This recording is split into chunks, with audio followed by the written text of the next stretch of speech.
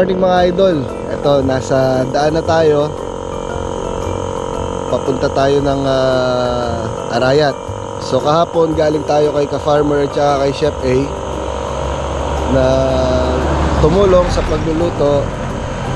Ngayon, ah, pangalawang araw natin, pupunta tayo kay ka-farmer ulit na para magluto. Na tutulungan natin si Chef A ulit. Ayun, sinuswerte tayo, dalawang araw na. Ayun. So, nandito ako ngayon sa San Luis. Ang bahay namin, ayun lang. Doon. So, madilim pa. Hindi ko pwedeng uh, pa, uh, paandarin yung motor doon kasi maingay. Ayun. So, samahan niyo ako sa paglalakbay mula dito hanggang sa sa Arayat, sa San Nicolas doon sa amin para kunin natin yung ah, karne. Kasi iniwan ni Chef A doon sa bahay. So, tara, samahan niyo ako uli sa aming punting, munting paglalakbay tsaka pag, ah, pagluluto. Okay, babalik ako uli. Ayun, idol, touchdown na tayo dito sa San Nicolas, Arayat, Pampanga, dito sa bahay namin. So, maglalagay na tayo ng mga karne dito. Lagyan natin dito yan. Ito yung dadali natin kay Chef A. Yan.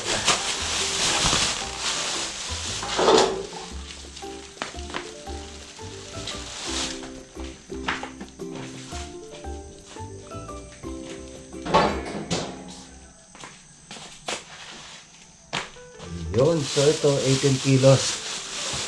Ito 18 kilos daw to mga to. So dadali natin doon. Ewan ko kung ano lulutuin ni ni ni Kabeli. Kung anong lutong gagawin. Tutulungan natin siya.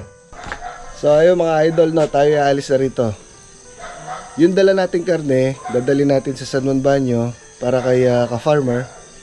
So lulutuin daw yon. Dadaanan natin si Chef A dito sa kanila, sa San Juan Banyo. Yeah. So, shout out mga pala sa mga teachers dyan.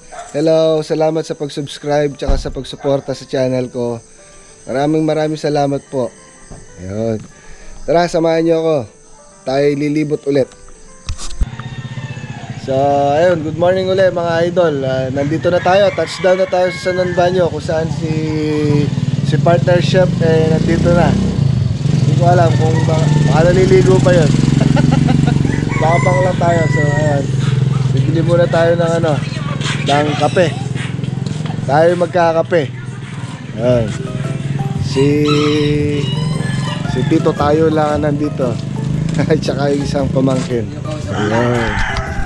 Yun mga idol. So touchdown na tayo. Dito kay ah, ka-farmer. So ayun no.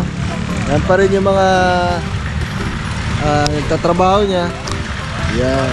So ayun si Chef A. Ito, magluluto tayo ng beef paris ngayon. Tsaka, di ko alam kung ano yung isang menu. Pa na sabi ni Chef A sa akin. So, I, I think bulalo siguro. So ito. Maraming salamat. Yung mga idol, no, magpe-prepare na tayo. Yung uh, pang beef pares, no, chef? Beef pares sa Pares at beef with onion, beef with onion, tsaka bulalo. Ayun. Yan ang recipe natin for today. Yun daw yung ah, recipe natin for today. Tapos ito, hiwain lang natin yan. Yung strips. So, tinuruan na tayo ni chef. Yung mga ganitong hiwa. Yung nipis. Para mabilis lumambot. Ayan. Hiwa-hiwa lang tayo ngayong umaga. Mamaya, pag natapos na natin tong preparasyon, magluluto na. Pasensya na kayo sa boses ko, medyo malat. Kasi ang lamig dito pag umaga. Yes ko po. Kanina gumising ako ng 4 o'clock, galing ako na San Luis. Umuwi ako kahapon. Nagalit kasi si Buntis. Ngayon, ito. Nandito na tayo. Prepare, luto. So, pagkatapos kong hiwain to, babalik kami uli para ipakita naman yung procedure kung paano iluto step by step. Ah, galing kay ah, kay chef kay chef A yun. So yun mga idol no dito na tayo sa beef steak. So Beef with onion. beef with onions. Ganito kalaki ang hiwa. So yung kanina mga ganyan lang. Yan. Ngayon lalakayan natin. Yun kasi pampares so ito pang ah, beef with onion Parang beef stick style. Parang beef steak style din ang ang dating niya. So, hindi siya nagkakalayo ng ah, lasa. Ganun. Ay, ng hiwa. Hindi siya nagkakalayo ng hiwa. Yan ang bayo ng patong ng ito. So, babalik ako ulit pagkatapos mahiwa nito. Siguro pagkatapos mahiwa nito, start na si chef kung paano niya lutuin. Sa garnishing na tayo.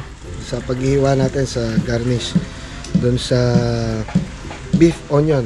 So, in-slice ko lang siya. Bilog. Binalatan ko siya ng traditional, yung bilog. Tapos, siniwakan ko lang siya ng manipis.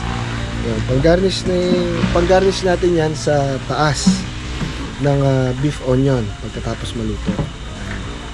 So, babalik ako ulit pagka tapos ma mahiwa nito, mangungulit naman tayo kung ano yung nasa loob ng kusina.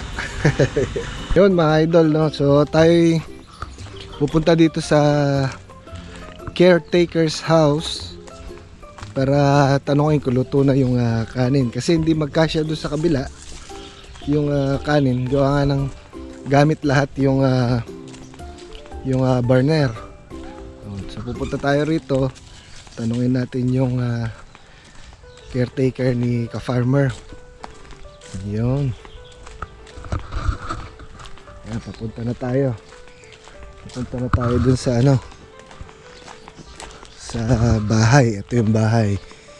Yan. May tao pala ritong iba. Ayan mga idol, so tinulungan tayo ni, ni kuya. Ayun, dinala na yung kanin doon kasi marami. Dalawang kaldero malaki. Ayun.